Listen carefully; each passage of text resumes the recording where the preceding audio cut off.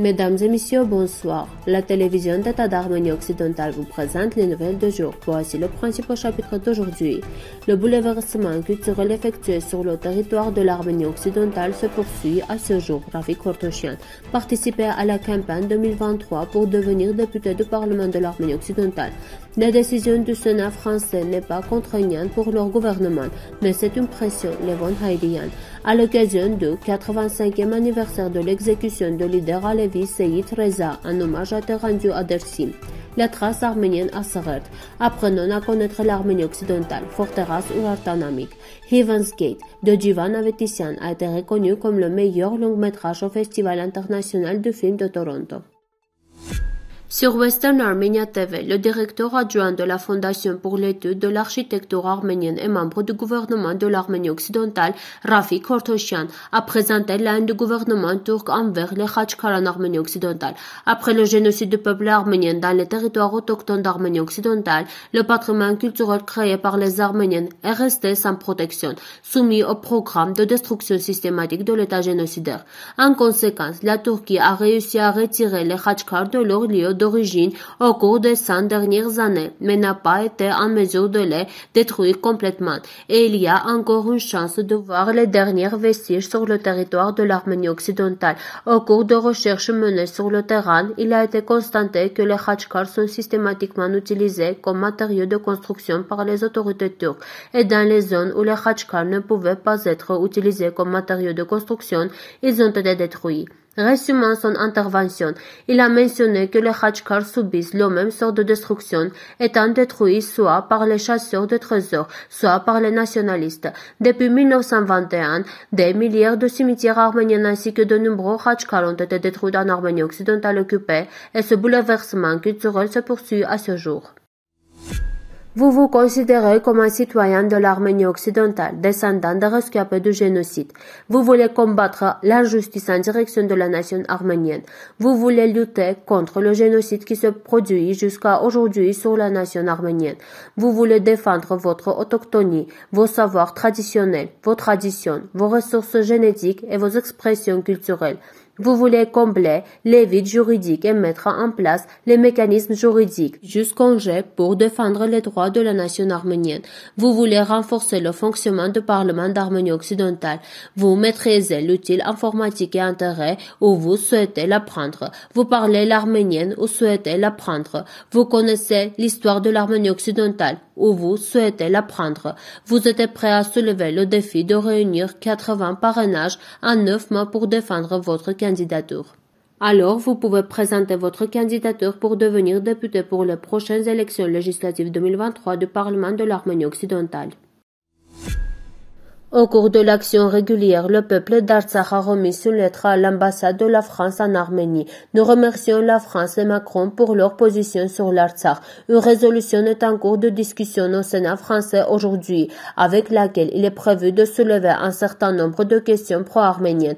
Il est vrai que la décision du Sénat français n'est pas une obligation pour leur gouvernement, mais c'est une pression.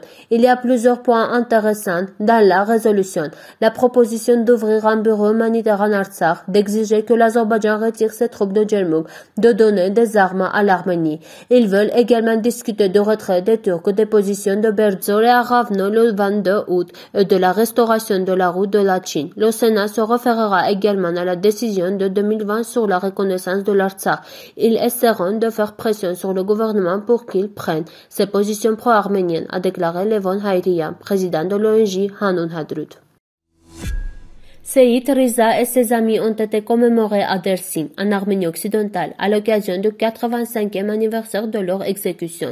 Des représentants des institutions à Lévis, des représentants des partis politiques, des organisations de la société civile et des forces de la démocratie du travail ont assisté à la commémoration. Meral Danish Beshtash a déclaré que Seyid Riza était le cri de cette terre et a ajouté l'un des plus grands héritages que Seyid Riza nous a laissé et qu'il ne s'est pas agenouillé et n'a pas baissé la tête. Il y a 85 ans, lorsque les dirigeants du peuple de Dersim ont été exécutés, l'objectif était de réaliser un génocide à Dersim, qui s'est retrouvé sans tête et sans dirigeant.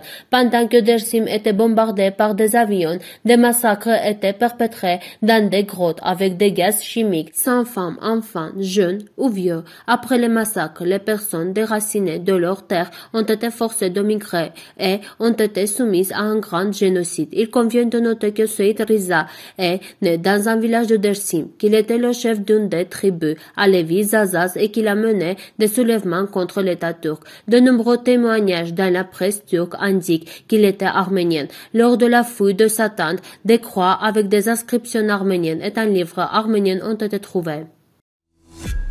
Ceux qui croient que la question du génocide des Arméniens devrait être transférée aux historiens essaient en fait de transférer leur obligation politique à quelqu'un d'autre, peu importe à quel poids c'est nié. Il y a un peuple qui est devenu une victime et qui est encore négligé. Le gouvernement turc craignant de verser des indemnités nier le massacre sans parler des allégations de génocide qu'il qualifiait de triste événement.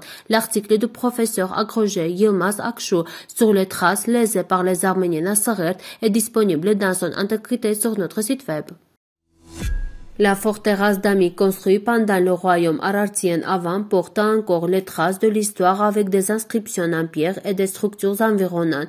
La forteresse est située dans la partie nord du village de Ziyurt, fondée en tant que centre commercial portuaire dans les années 700. La forteresse d'Ami a réussi à se maintenir aujourd'hui malgré les catastrophes naturelles et les dommages causés par les chasseurs de trésors et est considérée comme l'une des structures culturelles importantes de Vannes. Les entrepôts, tunnels ou passages autour de la forteresse portuaire d'Amik, qui reliait la forteresse au lac de Van, témoigne des méthodes par lesquelles les Oartiennes arméniennes assuraient autrefois leur sécurité. Le long métrage du réalisateur Jivan Avetissian de Gate of Heaven, qui traite du sujet de l'Artsakh, a remporté le prix de meilleur long métrage au Festival international de films de Grenoble à Toronto. Jivan Avetissian a noté qu'ils avaient rencontré de nombreuses difficultés lors de la réalisation de films. Tourner un film en Arménie et sur le thème de l'Artsakh, c'est assez compliqué tant financièrement que politiquement. Cette fois encore, l'État voisin a tenté d'empêcher l'implication d'acteurs et de créateurs étrangers dans le film et le tournage a soulevé une vague d'agression, ce qui a rendu difficile l'obtention d'un soutien financier de la partie européenne. Oui, nos voisins ont essayé de nous gêner, mais nous avons avancé à contre-courant et aujourd'hui nous avons déjà un bon résultat. Le public ciblé du film est le monde entier. Aussi, nous créons donc un film pour des millions de personnes, a souligné Avetisian. L'Arménie occidentale évalue positivement les efforts qui ont été faits pour réaliser le tournage du et créer le film. Les efforts déployés ont reçu leur appréciation méritée aujourd'hui au Festival de films de Toronto. Merci de votre fidélité. À la fin de notre émission, vous pourrez profiter d'une performance musique folklorique des Arméniennes. Vous pouvez écouter la version complète de la musique sur notre site web.